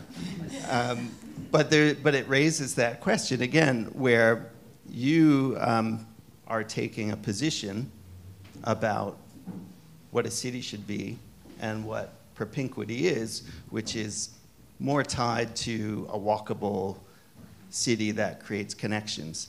Now you do you do something a little bit sneaky where you talk about spatial and intellectual propinquity, like that as the kind of mythical ideal, which is different than just imagining a place that has a dense urban fabric. So that I want to come back to that and ask you that that question because it seemed to me, and it links to uh, you know the history of the city in Syria that you cite with the Paul Veyne uh, essay. Um, but I think that's quite interesting, and, and whether you are holding out a kind of ideal uh, for a city and what, what that looks like and how it performs. And so uh, it's, it's interesting to come back to. Um, one other thing that I wanted to just talk about in reading the book that I really loved was um, the snapshots in time, assuming that you didn't go back and tweak anything. And to me, it, felt, and, and it was a little bit like, um, I don't know if anybody saw the movie uh, Boyhood by Richard, Richard Linklater. And he shoots the film over 20 some odd years. And what's amazing about the movie is that there are these scenes where you think, oh wow, he's wearing those sneakers, or he's got that t like was that T-shirt really from that year? And and so there were all of these moments with reading your essays where they were jarring, where it's like, wow, were people really saying that in 1970? So to contextualize the little argument, I'm actually going to come to your defense, because in the very first essay, uh, Richard uses the term neoliberal, which um, I went down a wormhole. You probably went down some wormholes. It is a term that um, was, it was not a pejorative, but it was in circulation among what we would call neoliberal economists today, Milton Friedman and folks like that. But what is amazing about it is that you are capturing these things in your essay that I was thinking, were people really thinking that in 1970? You wrote about gentrification at a really early date. And, and so that was a real pleasure to read, but also made me uh, feel like you were you know, pretty intellectually active and engaged with what was happening and really ahead of the curve in so many ways. So um, yeah, I just wanted to thank you for that. That second neoliberal reference is legit. yes, I, I, you know, I, now the other thing I don't know, but, um, but I think See, your studio and, and Ignacio and Alessandro were also involved with those. Anybody else with Caracas? I don't remember. No. Um, they were very important to me because I started to think, as I did in Leuven, about, well, why was the largest reconstruction project in Europe at that time never discussed by historians? That's where I get I get, you know, off on the history question. Uh, in the Caracas case, you have a city that is probably um, 90%, 80%, I don't know, so-called informal, right? And what's that? I mean, it's actually, and, and that's where I started to think about this formality question, because um, that's our perspective. It's not informal. It's formal. It's just a whole different set of rules, right? And different outcomes. So I thought, so, so that studio was very important. I mean, all these studios, I learned a lot, I have to say, probably more than students. Um, well, hopefully not. I mean, Maybe it's a good moment to open it to the yes, listening audience, right? So I, I, don't know if there's a mic to pass, uh, but who was the Yeah.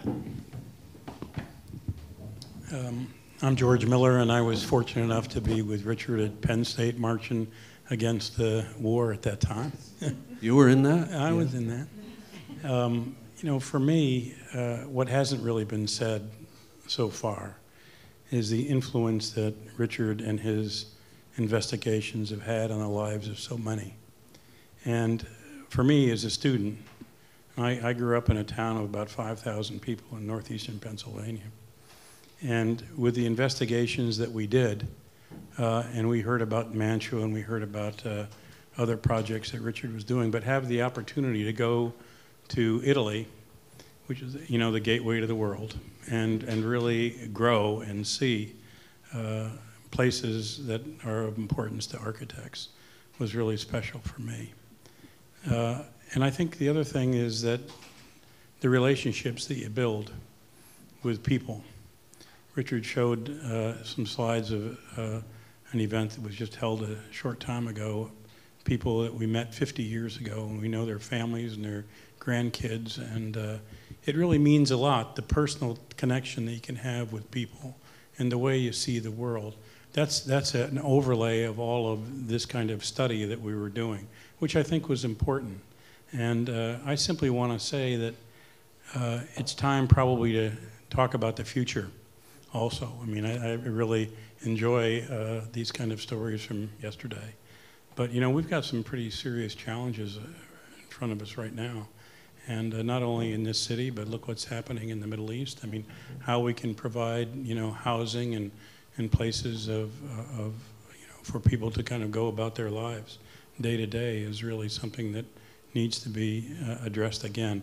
I think the, the study abroad programs, not only here but also across the country, need to be reinforced because it connects people, it connects ideas, it connects places, and it's important. So, what's that? What's that song? Somebody said, "Don't stop thinking about tomorrow." I guess that's a few years ago too, but you all remember that guy. Well, yeah, I think one thing I would say. Yeah. One thing about San Leucio was that that event last fall was extremely empowering because the community, of course, is, you know, is, people are passing away and all that and moving away and all that, but they're struggling against, you know, huge economic forces to, for development.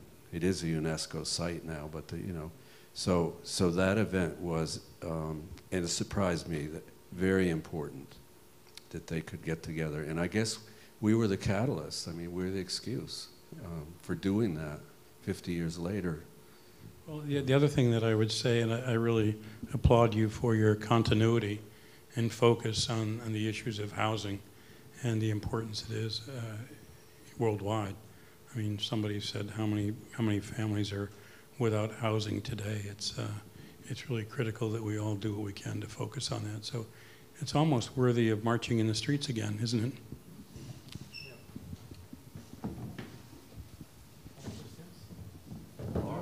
Austin. Yeah. We got some. Oh. I see we have many of the usual suspects here. Sorry. Including Austin. I don't really have a question. Um, I just wanted to say this because uh, there's been a lot of talk about continuity uh, and this kind of amazing sort of train of thought that's just been rigorously upheld over the course of the, this five decades of, of thinking. Um, and all of that is absolutely true. But to go back to Adam's point about propinquity, and since George is here, I'll, I'll mention, you know, my old boss, Harry Cobb, used to, used to talk about the architecture of contingency, right?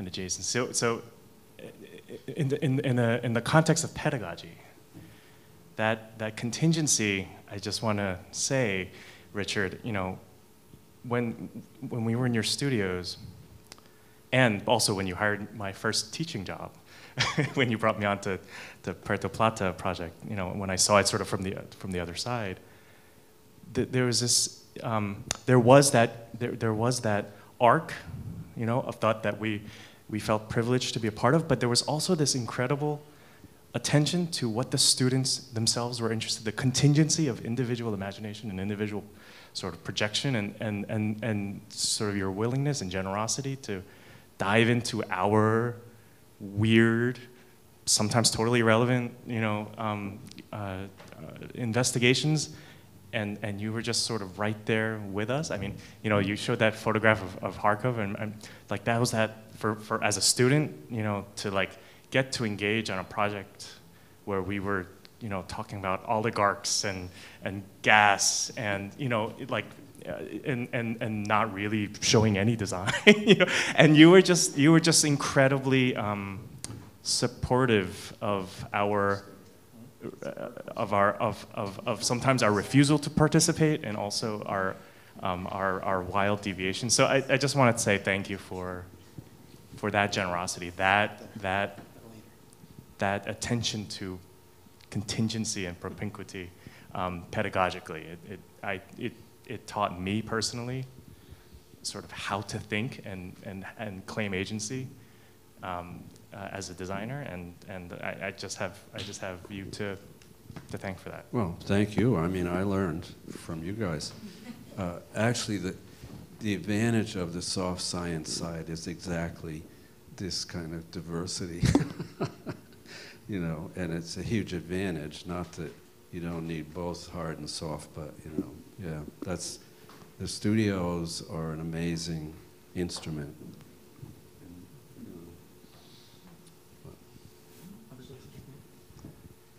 Um, yeah, I think I've had like almost half half the yeah yeah I guess about half the dais as uh, professors when I was a student here, um, and yeah I think one thing that I found really interesting about all the conversations today was, um, and reflecting on the like long legacy of these studios where you did have students from multiple different programs and kind of like encourage this this de-siloing that um, is common at a lot of schools and I think is still always an ongoing challenge. Um, please bring back the cafe and brownies. Current students, these problems, like you said about the future, you know, like current students at GSAPP are going to be writing things like this in the future, are going to be solving these problems. And so I think it's incredible to have this faculty up here that have such a legacy of talking about these things and doing these things. Um, so I think it's, it's very encouraging. Um, to speak on that and speak, kind of bring us back to this question of housing and of the future, you know, we're right now in the midst of the biggest upheaval in zoning in New York City in, what, 60 years? Uh, most of it around housing. Um, probably not with the amount of actual critical thinking that needs to be going into it. Um, at the same time, a lot of city agencies, folks in them, uh, kind of ground up are talking about shifting the culture in city, uh, in zoning and in city agencies to one where housing, planning, design is looked at as a um, as a health question, as a public health question, right? Housing is not an architectural problem, it's a public health problem. And, you know, I am kind of curious on your thoughts on like, what are the future conversations? What are the current conversations, you know, that, that can connect this, this sort of uh, path that you've drawn into the next phase of studios, the next phase of courses, and the next generation of uh, architects, planners, activists, et cetera? Oh man. yeah. I, what should I write my dissertation on so I can yeah, get a job? Yeah, yeah, you tell me. I mean, I, I don't know. I think there was an interesting article in the Times today about Paris and the fact that the majority of uh, housing units in Paris are somehow government uh, owned or, or certainly subsidized, and um, because housing is a basic human right. And that's something that we have never gotten straight in this country, I'm afraid. I mean, you, you're the expert actually on how things get done. I mean, I, well, it's very interesting to, to, to work with, to, to listen to uh, Ignacio and Alessandro's conversations in their office maybe Ira, I mean, our subsidy system is so screwed up that it's impossible to understand how how things will proceed without a major overhaul. But it, it's certainly the way things are going with our politics doesn't seem.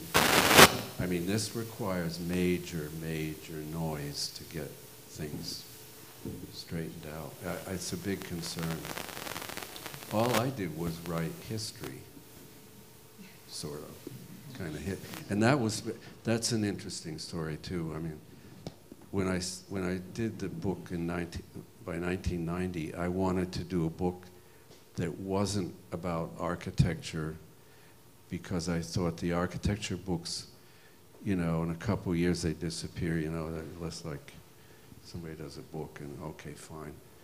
Um, they get a review and that's the end of it. I, I want to do a book that would be useful for a long time. And that wouldn't be the normal sort of architecture book. And it would be about housing because it would be, it'd be, you know, more than just the designs, right? And, and one of the things that I have found very interesting is that it actually has been that. I mean, I get, I think people still use it, from what I hear. Is part of that Or- the syntactic structure? The removal of color, the black and white? It could be. But That's I an don't mean, I don't interesting mean that at question. all super, no, but, uh, I mean, through, throughout your talk, you, you came around to syntax, and I was thinking of everything from Susan Sontag to Noam Chomsky, but like an era where linguistics was, and the way Peter Eisenman used linguistics, or Mario Venturi, Scott Brown, but that part of it allowed it to be transmissible, or, and the digitization project, which turned out to be your thesis, I guess.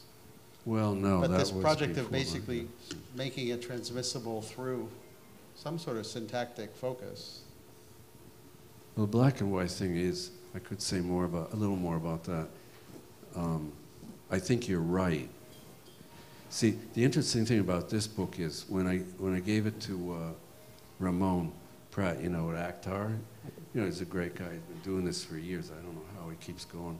But his, all his books are all these colorful things. I mean, it's like, God, you know, and, and some are way too thick or way too thin. I don't know what they are. You know, so he seriously asked me, he said, but is black and white an ideological problem for you? And I said, yes, Ramon. I remember that phone call. he couldn't believe it because it's the, probably the only book in his whole list that's only black and white. But I thought, well, let's not distract here from the message, right? I mean, let's not have noise. Let's, even for this, but for the, yeah, for the 1990 book, yeah, I think you're right. That's what it was. Um, I think that's why the course remained appealing. People wanted to still experiment with trying to, yeah. to I mean, you if, sat to test the viability of that. It Yeah. wasn't a, it wasn't necessarily a wholesale endorsement, but it was definitely a desire to test that. Yeah. And anybody that went to the reviews in the last Yeah, you years. sat on. Uh, Yeah, no, I was always yeah. curious there myself, keep wanting to You see were the curious, greater- why do they do this? You know, just- How do you, This is the disarming Plunz humor. It's, if you, if you try to make him the center of attention, he will make himself the periphery very quickly. You know? Even though he's in the middle right now. Maybe there's a for efficiency's sake. Who was in the book, yeah, Mexico City. Um, I want to reflect on the pedagogy piece, and, and maybe, maybe it's fundamental today, but I do believe the way in which uh, the studios force collaboration is such an important uh, thing that I got out of this, uh, a professionalism yeah. that was cultivated within three semesters, right? I mean, if you didn't like your team, you had to for three semesters. So I've gotten so much. Uh, I mean, sure, it was a graduate educational experience, but there was a degree of professional training that we were being prepared for. And I think having to reflect on that is really an impressive thing in which you know you immediately apply that in the office right? At least for my um, experience. And to get architects to collaborate. Well it was really great we had that kind of experience in an academic context where we could explore theory uh, different from well at least from my experience, very different from uh, practicing in the real world and then interjecting theoretical ideas uh, to be delivered. And I just want to thank you for, you know, really uh, working succinctly and with other creative faculty to put that kind of programming together.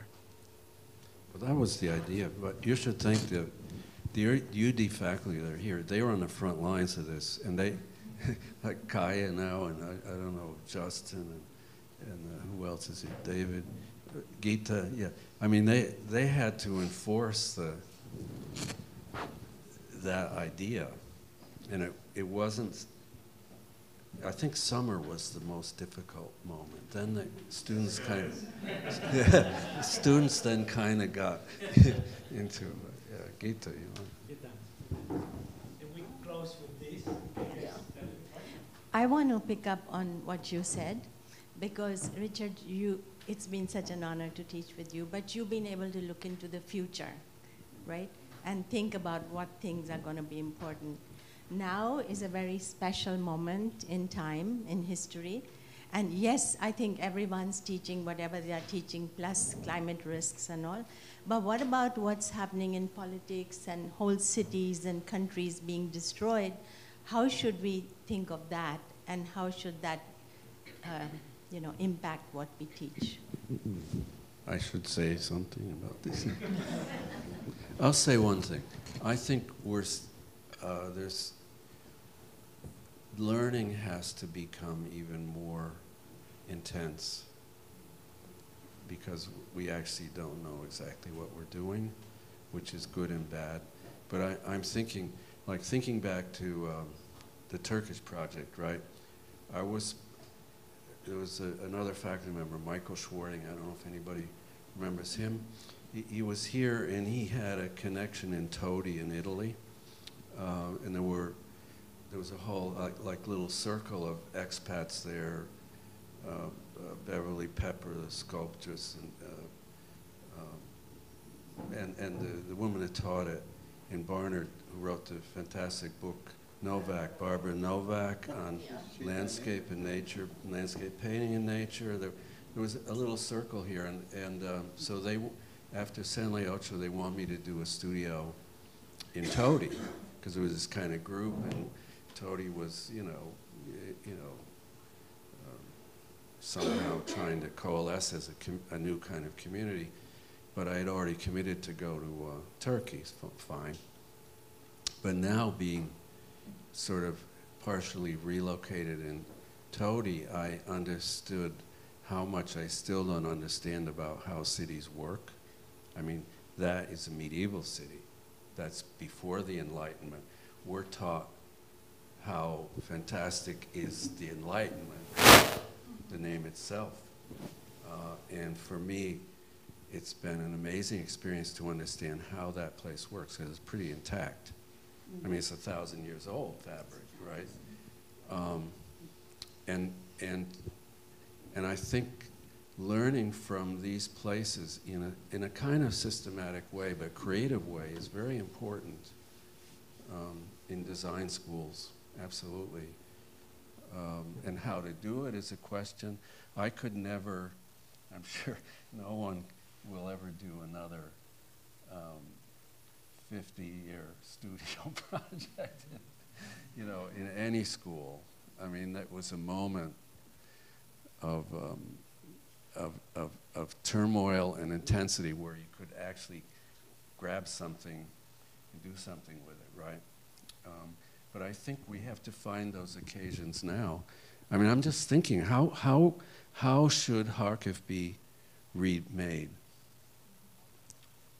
Um, and we were thinking about post-Soviet city. Well, now, forget about. Well, now it truly is post-Soviet, you know. Um, and, and, and, and of course Gaza and oh my God, I mean there's I mean I mean and I mentioned of course um, Syria and uh, so so it's a moment of huge opportunity if we could if we can catch it I did see opportunity and I tried to catch it, yeah. That, let's just say that. Now, what I caught, I don't know. but, yeah. Well, thank you very much.